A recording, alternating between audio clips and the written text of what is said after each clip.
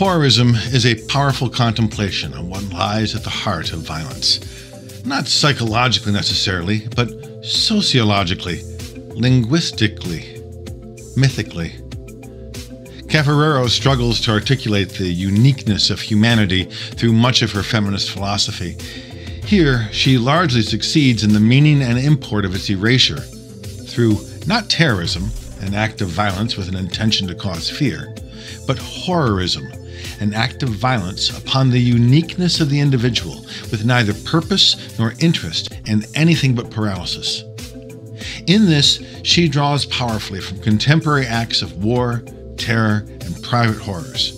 From the Medusa and Assad to Hiroshima and Abu Ghraib, she demonstrates how great swaths of our language are structured around rationalizations for the perpetration of horror, whether from individuals or states.